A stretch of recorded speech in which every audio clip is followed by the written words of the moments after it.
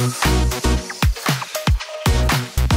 and welcome to the Gathering Online. My name is Maddie. I am the online pastor here, and I want to thank you for joining us in worship today. If you're new to our channel or you haven't done it yet, be sure to subscribe before you leave. Sermons like this one drop every Sunday, are available on demand all week long, and we have other videos that roll out throughout the week. So by subscribing, that's how you know you won't miss anything. You can also go to the description of this video and click the link to learn more about our church through our website. Click a link to fill out a Connect card, which gives me the chance to reach out and say hello, or click the link to give if that's something you're interested in doing today. Now, we are still in our series Screen Time, where we're talking about what it looks like to have a healthy relationship to the technology in our lives. I'm really excited about this series, in part because I think there's a lot of it that is kind of um, impactful for me. There's a lot that I'm taking out of it as a value add, and also um, because I think it's important to know that there is a way to have a healthy relationship to technology. There's some hope in that for me. I hope you find that hope in this message as well. If you love it, share it with a friend, come back and watch it again, or comment down below and let us know what you enjoyed. Have a good time. Enjoy the message. Hey, everybody. My name is Tim Ziegler. I'm the site pastor here at McCausland as part of the gathering. I'm so glad that we could spend some time together here this morning or this afternoon or this evening or this night, wherever you find out about the gathering. I'm so glad that you linked up with us here today to check us out. In order to help coordinate school pickups, we instituted a rule a few years ago that the earliest anyone in our household could get a phone was their first year in middle school. So, at the same time that our youngest joined the household text thread, Great laughter erupted around the dining room table. There was some type of seriously toned conversation happening within the thread, and everybody responded with words of empathy and concern, except one. When confronted with why she was replying in such a caustic or careless manner, my spouse, Lisa, was caught off guard. What was she doing wrong? Each time someone mentioned something sort of heavy, she felt like she was being sympathetic. She was doing the right thing, but that's what was causing the laughter around the table. Lisa believed that every time she replied and was saying, she was saying lots of love. The technocraty of our house found this so amusing and quickly informed her that LOL actually means laugh out loud. So, when she thought she was being empathetic, they read it as a completely out of character thing, like, why is mom laughing at this? Today, we are continuing our conversation regarding screen time, troubleshooting our relationship with technology by focusing on how technology can be a blessing or something not quite a blessing, especially when we get those acronyms wrong or those abbreviations. So far, we have been invited into a tech Sabbath maybe a great band name, as we seek to be more mindful of the time we spend with our devices. And last week, we engaged in the notion of the dangers inherent in comparison culture, often experienced by our own teens through social media like Instagram. Pastor Matt provided us with an alternative understanding that we ought to ground ourselves in gratitude, thereby freeing us up and focusing on the gifts we have been given as opposed to comparing ourselves to others and what we do not have.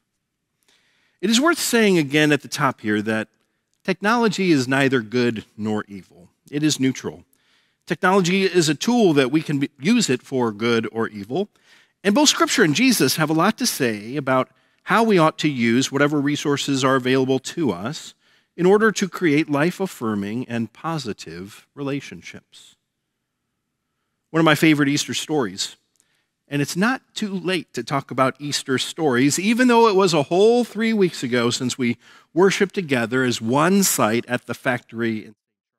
It's not too late because Easter is not just a day, but an entire season. One day can't contain all of the mystery and hope and new life that was there in the empty, but not so empty tomb. So, anyway, one of my favorite Easter stories involves two of Jesus' disciples deciding to skip town on what turned out to be Easter Day. Even though they have heard reports that the tomb was empty, they were getting out of Dodge, or in this case, Jerusalem, perhaps thinking that they were next on the hit squad. These two are on their way toward the nearby town of Emmaus, and they are quickly joined by a stranger. Now, spoiler alert, we as the hearers of this story know that the stranger is actually the resurrected Christ, but they did not recognize him. And he asks his new traveling companions a question What are you talking about as you walk along? They stopped, their faces downcast. Now, I don't know what type of phones they were looking at while they were walking that caused their faces to be downcast, or maybe more accurate to the times, they were tablets. But the text makes a point to emphasize this in order to show how lost they felt. Their religious leader had just been executed. They were now without Jesus' leadership and friendship again, or so they thought, since the resurrected Jesus was the one asking them this very question. There was something interfering, though, with these two ability to see who was with them. Maybe it was their own depression. Maybe it was their inability to look up, to look forward. Maybe they were the first ones in history to suffer from some type of tech neck by looking down too much. Maybe their walking cadence resembled that of a dejected Charlie Brown, now showing at Webster Groves High School. Get your tickets now. I hear Lucy is great. Regardless, the traveling disciples are sad and grieving. In their continuing conversation, everything is phrased in the past tense, which culminates in the words found in verse 21 that we had hoped. They don't know how to move forward. These two persons are seemingly encapsulated by the loneliness and isolation they've endured over the past three days. As citizens of the 21st century, we know all too well those feelings of isolation and loneliness. We know what it means to feel all alone. On countless occasions, we have looked for our salvation from these feelings and realities through technology, only to be disappointed time and time and time again. When we aren't fully aware and present, it is far too easy to reduce people on screens to someone other. We seemingly all too easily forget their humanity. We reduce people to words typed on a Reddit thread. When we allow social media to reduce our humanity, we simply become avatars, and I'm not just talking about the Na'vi here. Couple this with the anonymity inherently present online, and it is a recipe for dehumanization. We feel it. We know that we are able to treat people more poorly online than IRL in real life, we're learning at the Ziegler House. We have been, or at least have known people who have been, on the receiving end of prejudgments layered upon other prejudgments. Someone new has been hired at work. Do some light internet stalking or sleuthing, depending on your perspective, and draw your own conclusions. Feel free to take those additional steps, draw your own conclusions, and make those prejudgments about that person even before they begin their new job. The promise of technology was to bring us closer together. Here we find it placing barriers between us, or maybe more appropriately, we unthinkingly put barriers between us when we use technology passively in our relationships. One of the things that gets nestled into all types of online media services is this idea that you are being sold something that everything is being commoditized around us. If I were to say, hey, Siri, right now, and you know, go get Tim a cup of coffee, I don't know what would happen, but maybe coffee would start popping up, or the next time we went to search for something, all of our ads would be flooded about coffee for this guy named Tim. So, one of the questions I've begun asking myself is what is trying to be sold here? These are a couple of my questions. Is it my connections with these other people? Is that trying to be commoditized somehow or marketed? Is it some type of product? And if I can't figure out exactly what is being sold, I begin to wonder if I'm it, if I'm the product. When used passively, loneliness is one of the results, ironically, of our constantly interconnected relationships. Sometimes this is the result of feeling reduced to merely a thing to be marketed. Studies show that being treated as an avatar or as content ourselves often results in feelings of isolation. We are caught doing the work of processing others' prejudgments of ourselves, and we give it weight, maybe more than belongs. Sometimes this means that we physically withdraw from our regular day to day lives. Sticks and stones? Yeah, right. We are designed for empathy and to learn and form long lasting relationships with others. We know that words do hurt and affect us. So when we feel rejected, even by anonymous strangers, the results to ourselves and those we love can be devastating to our mental, emotional, and physical selves, physical health as well. There was a time in the Gospel of Matthew when Jesus is sending his disciples out two by two and instructs them that in those places where their message is being rejected, that they ought to shake the dust off of their sandals and split. Taylor Swift, anybody? Shake it off? Yeah. This shows that, that sometimes there is more wisdom in leaving once rejected than in staying around and absorbing more rejections. Sometimes opting out is the bigger win. So, that app, it's no longer working for you. Hide it, delete it, unregister from it. There are certain apps that I have given up over time, Facebook and Twitter among them, my Facebook here I use specifically to get to know people in our church, not to connect with folks from high school, but that's just me. That's just a barrier or a boundary that I put up for myself. And that's what works for me. What happened in the past was I would find myself doing the doom scrolling thing and not really interacting with those persons around me, but more content just to be sucked in and absorbed by my screen. And so I know I needed I knew I needed to stop. So I only have Facebook access on my iPad, and I check it maybe a couple of times a week at most. And this actually helps me be more present in the here and now. Perhaps you've noticed, as Sarah Rugenstone, our Clayton site pastor, once did, when she tagged some other Tim Ziegler in a staff photo, that I'm not on Instagram. And that's by choice. It's a boundary. It might not make sense for others, but right now, it's what works for me as I try to be more and more present with those I am physically present with. There's a word in Greek, allelon, which shows up 100 times over the course of 94 verses in the New Testament. Here we can read 100 different ways in which we are meant to interact with one another. It means one another, this word, allelon. We are instructed to love one another, and in the Gospel of John, this is probably the most famous instance of this idea of how we should treat one another. Jesus gives a new commandment. I give you a new commandment love each other just as I have loved you. So you also must love each other.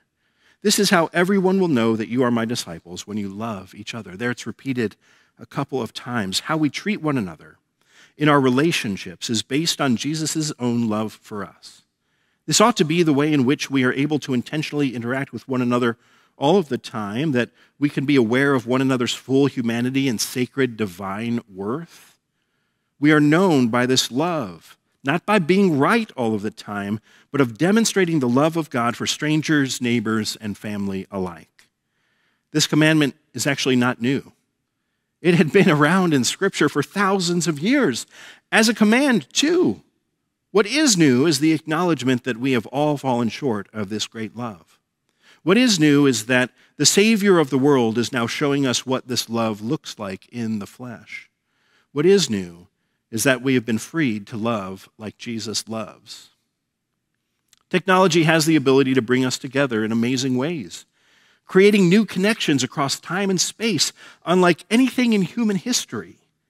Yet it is not our salvation, but it also is not our destruction.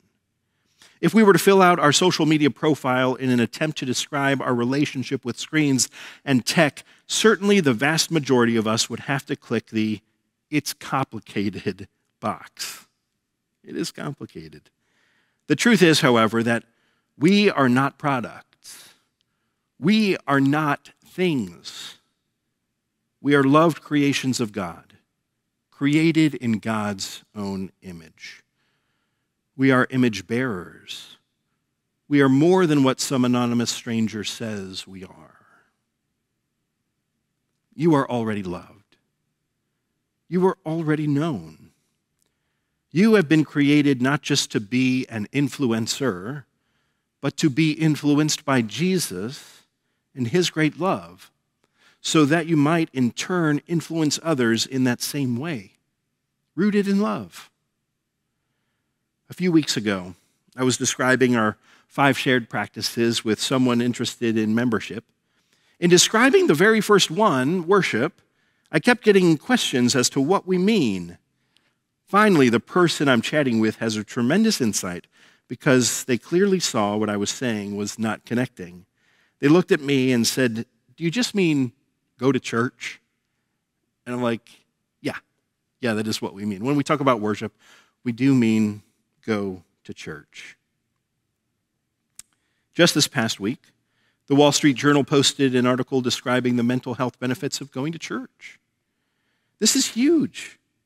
We feel more connected and we have a deeper sense of belonging.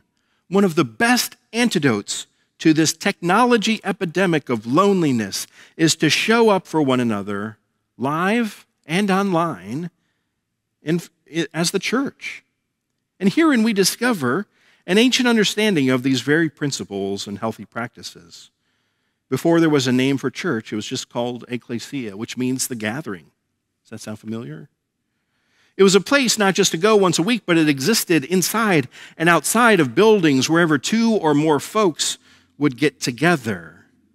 And there they would see each other, actually see each other. They would get to know one another, and they would often share a meal together. Speaking of which, I don't want to leave you hanging about these two disciples accompanied by the risen Christ on their way to Emmaus. The next thing that happens is that Jesus is like, okay, I'm going to dip out of here. And the other two were like, no, wait, come and stay with us. So he does. And when they arrive at the place where they were going, Jesus takes his seat at the table, still unknown. He picks up the bread, blesses it, breaks it, and shares it with them. Immediately they see him for who he is. But he disappears. And they head back to Jerusalem to reassert the claims of resurrection made earlier. In showing up for worship, we are seen. In showing up in core groups, we are known. And in the breaking of the bread, we know that we are already accepted, already loved, already known, and seen by the one who surprises us along our paths. After all, you are not a product. You are a person. You are a person of divine worth, loved, called, and claimed by a God who sees and knows you as a divine image bearer. Let us pray. Gracious God, we're so thankful that we are able to think upon these words here today that we are more than who folks in the world say that we are. We are indeed loved, created, claimed, and named by you. Help us learn more of what that means for us this day and help us to share it and invite others into that same life through Christ. Amen.